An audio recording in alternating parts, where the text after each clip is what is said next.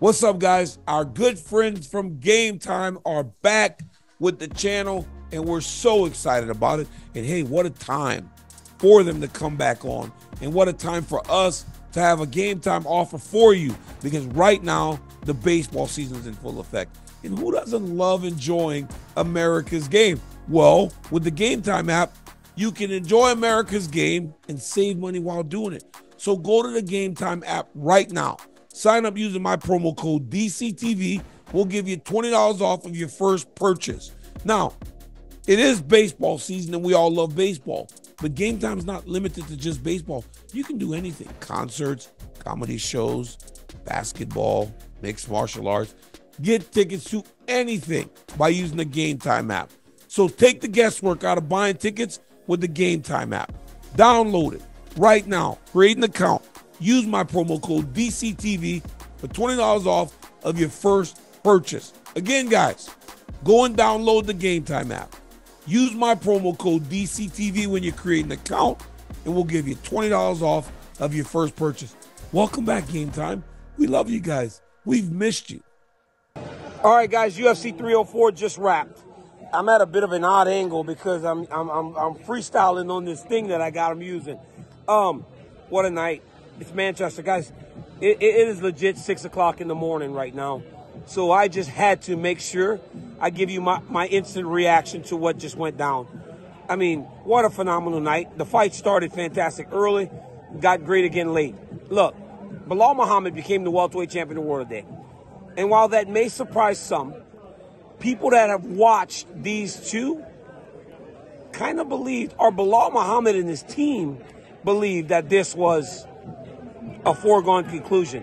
And honestly, if we would have looked at this fight before watching Leon fight Kamaru and defend effectively against Colby, you might have kind of anticipated that this was a possibility. But tonight, Belal Muhammad fought the absolute perfect fight. You know, he said all week that he would make this look easy. I didn't believe him. And I will say that openly. I thought he was underestimating Leon Edwards. I thought when he was walking out to the octagon, he looked a bit confident, and I wasn't sure that it was warranted. But what he did in the octagon tonight was so special. He really did look like Khabib, if I'm being completely honest. The pace, the pressure, the wrestling, and you know what? The striking. You know, Belal gets a bit of a bad rap and at times they say he's boring. But I will tell you right now, that was furthest thing from a boring fight from the new champion. His pace was amazing. His pressure was amazing. His striking, he fought and struck with Leon Edwards. He outlanded Leon Edwards. He was able to do things that we really didn't expect him to do to Leon Rocky Edwards. You know, it was it was a fantastic performance. This guy fought 12 fights unbeaten before he got his opportunity. And he recognized that if he didn't get it done tonight, it would be a hard time for him ever to get another title fight. But not only did he cash in, he cashed in in dominant fashion. I thought he won four of those five rounds. And when I was talking to him afterwards, he leaned into the haters, which you knew Belal would do. But he spoke about how important this win was for not those haters, but for the people that matter to him, for his family, his wife, his dad who was in the octagon. It was truly just amazing. You know, I spoke to the former champ Leon Edwards and I, I said, was there anything surprising? He said, you know, my body just felt tired. He said all week he felt tired. Guys, these guys walked to the octagon at 5 o'clock in the morning. The UFC did a great job of trying to prepare them by giving them protocols to follow by working them on a program to try to help them be ready to fight at such an odd time. It sounds like it didn't work for the former champion. But if I'm being completely honest, he did seem a bit flat. But I don't know if he was at his best, if it would have made much of a difference because Belal Muhammad fought so wonderful tonight. I was very surprised, pleasantly surprised by the improvements Belal's made, but he's done it time and time again. I mean, we watched him fight Stephen Wonderboy Thompson and just wrestled. Then we watched him fight against Sean Brady and he knocked him on. You're like, wow, this is a new Belal Muhammad. Then we watched him against Gilbert Burns. I think that was the most telling fight for me that told me this guy was ready to fight for a UFC championship. Because in that Gilbert Burns fight, on short notice, in Ramadan, he not only won that fight, he dominated that fight. And he just took that and he built on it tonight against the former champion Leon Rocky Edwards. Guys, this crowd was crazy all night. But during that fight, Belal Muhammad and Leon Edwards, they had nothing to say. I, I don't think I've ever heard 18,000 people more quiet in my entire life. Uh, people started to walk out because Belal was taking them down and dominating. They were in anticipation of what was about to happen. I wouldn't walk out on Leon Edwards because we saw him do it before. Tonight, he didn't. He went out fighting them. He landed that beautiful elbow at the end that cut Belal Muhammad very bad and left him bloody and battered. I wouldn't be opposed to seeing these two do it again.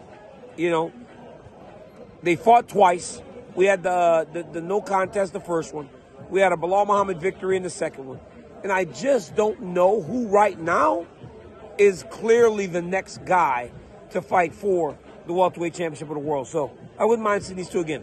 But hats off to Belal Muhammad, man. It was beautiful. It was wonderful to watch. And even though people may think he's boring, I did not find anything boring about what he did tonight in that octagon. It was beautiful. High level striking, high level grappling, and the cardio and the pace and the pressure was next level. Co-main event. Tom Aspinall, what's up, Miles? My boy Miles in the back breaking down everything at the octagon. Uh, Tom Aspinall fought Curtis Blaydes in the co-main event. Guys, Michael Bisping was so high on Tom Aspinall, I wasn't sure if it could be real. I was like, this can't be real. It was real.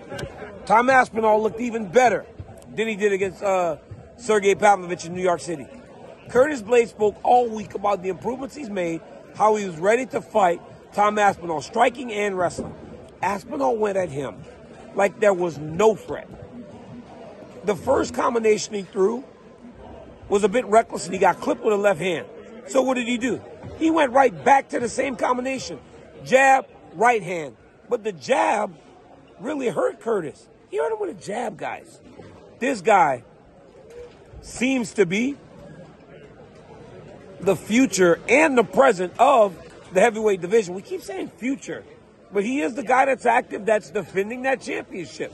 You know, Jon Jones and Stipe Miocic are going to fight each other, and deservedly so. These guys, if anyone, who want to choose a fight and who to fight deserve it. Jones and Miocic. They fought all the best in the world. They beat all the best in the world. You know, when they get to New York and they fight, Tom Aspinall needs to be in the building if he's smart. You know, then I, I, I, watched him finish. I watched the way the crowd reacted to him, and I watched his call out to Jon Jones. And in Tom Aspinall fashion, he was nice about it. He needs to rile up Jones a little bit to get the people more invested. Because I will tell you this, and I've seen this before. I have seen the crowd get so uh, behind a certain person that the organization will pivot. We saw it with The Rock and Cody Rhodes. Maybe they'll pivot and make Aspinall versus Jones right now. You don't know, right? We don't know. But Tom Aspinall has to get a little bit louder. But in terms of the fighting skill, I don't know that there's a better heavyweight in the world right now. You know, a lot of people are going to jump to say Tom Aspinall can beat Jon Jones. I'm not rushing to say that. I was in there with Jones. He, he is smarter and he fights harder than most give him credit for. I believe that Tom Aspinall will present problems for Jones that he's never seen before in terms of the size, the speed, the height, all combined. But I'm not going to be one of those people that rushes to say, well, Jon Jones ain't fighting Tom Aspinall because he's afraid of him. He ain't afraid of nobody. And Jon Jones will be able to compete against him. Paddy Pimblett submitted Bobby Green. That was the first time Bobby Green's ever been submitted inside the UFC. Paddy Pimblett's size, his length, and his striking confidence is what I believe made Bobby Green take that bad shot. And those transitions from Pimblett, from the guillotine to the triangle it was phenomenal. I know the crowd is soured on Paddy Pimblett, but I believe, I thought this was the toughest fight that he's ever had in his entire career. But I believe now it's time for the fans to get past that and look at Paddy Pimblett for what he truly is. He's going to be ranked now. He called out uh, the, the, the, the Brazilian kid from uh, Moicano from Miami. That would be a phenomenal fight. The build to the fight would be great. The fight would be fun because Moicano is a tremendous submission fighter, also. But it's time to look past all the things that you've had with Paddy Pimblett. He had a great message inside the octagon.